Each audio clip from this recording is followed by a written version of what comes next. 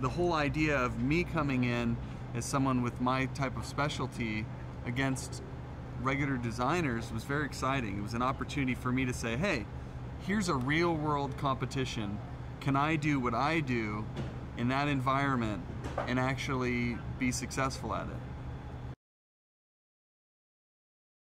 And the fact that these people that I'm working with are just, they're really, I mean, they're really skilled and amazing at what they do. And we have a very, very diverse group of people. So to be considered one of America's best designers is really an honor and an opportunity to showcase what I do uh, on a national level.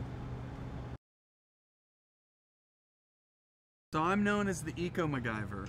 And the Eco MacGyver is someone who thinks outside the eco box. So there's, you know, a fixed parameter on how people think being uh, eco-friendly or uh, living a green lifestyle is. And I'm someone who um, does things, you know, very um, unorthodox. So I have a company that solves ecological problems through building and design. So um, we work on everything from homes to schools to businesses, and we help them to create an ecological um, environment or an, uh, an, ecologically friendly environment for the people that occupy the buildings. And our whole mission is to really educate people while we design things that are exciting and fun and thinking outside of this, you know, eco box, if you will, not to just do things the way, say, an environmentalist would do it or someone who's too serious. Really, what we're what I try to do with my designs is to try to make people feel healthy and vibrant and excited about the space they live in, while you know giving them um, you know a chance to uh, to just live a healthier lifestyle.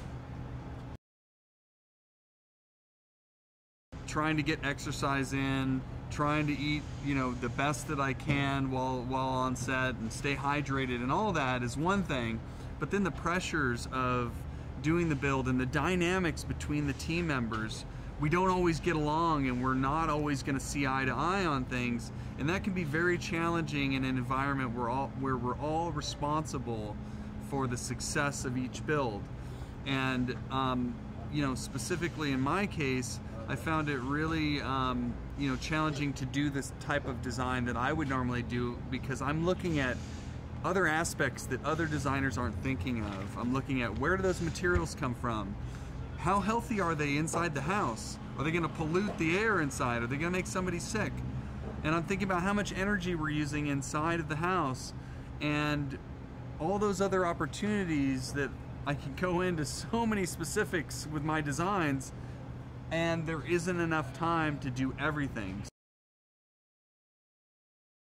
I'm absolutely proud of what we did inside the houses and I think that we couldn't have done a better job with this house. And when they see inside they're gonna be blown away. I mean I can't wait to, to show the little boy his boys room that I made for him and the things that I picked out for him that I would have loved to have had in my room when I was his age. His I, I mean he's going to be so surprised. And i know that you know we were able to give them what they had dreamed of that we could we could see from from watching their video. I know that we gave them everything that they asked for and more and they have no clue what they're in for.